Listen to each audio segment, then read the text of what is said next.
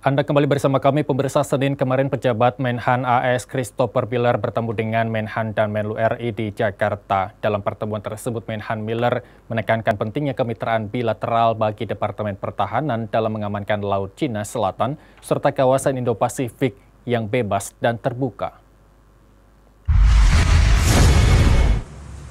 Kunjungan penjabat Menteri Pertahanan Amerika Serikat Christopher Miller ke Indonesia mengundang perhatian analis karena terjadi di masa transisi pemerintahan Amerika Serikat. We had the visit of Secretary of State Mike Pompeo and then the most recent visit by acting Secretary Miller. Also remember that we had the visit to Washington uh, by uh, Minister of Defense Prabowo Subianto. There's been this flurry of high-level uh, visits. Menurut Zachary Abuza, pemerhati Indonesia dari National War College, Washington DC, ini adalah langkah pemerintahan Donald Trump memperkuat hubungan sekaligus memastikan bahwa sikap Amerika Serikat di wilayah Asia Pasifik menghadapi Tiongkok tidak akan terpengaruh oleh pergantian pemerintahan. Obviously, uh, Indonesia in the past has been an important uh, purchaser of U.S. weapon systems, even though I'm not sure that any have been uh,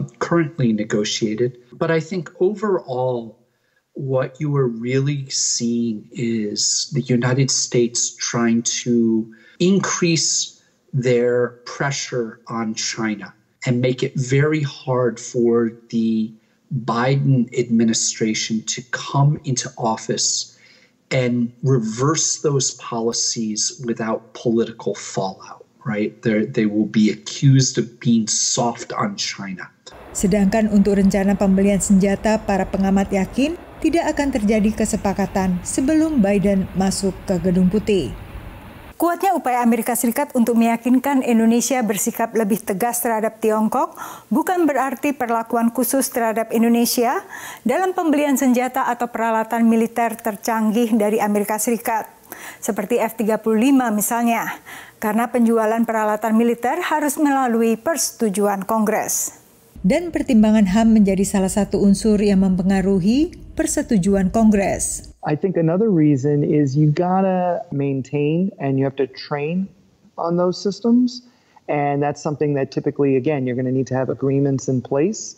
Uh, and if the US and Indonesia are just kind of at this basic starting point in their security cooperation, I mean, they're going to have to work up to being able to have those, those types of agreements in place in order for, for the US to trust Indonesia in using the F-35 appropriately. Dengan harga satu pesawat hampir 80 juta dolar atau melebihi 1 triliun rupiah, pembelian F-35 juga dipertanyakan bagi pertahanan sebuah negara maritim. Pertama 10 kali lipat, operasinya juga mahal, belum lagi peralatan peralatan dan, dan begini, menurut saya yang paling penting dari F-35 adalah kemampuan electrocentric warfare. Ketika kita bicara pertahanan itu kan nggak cuma barang, nggak cuma alutsista.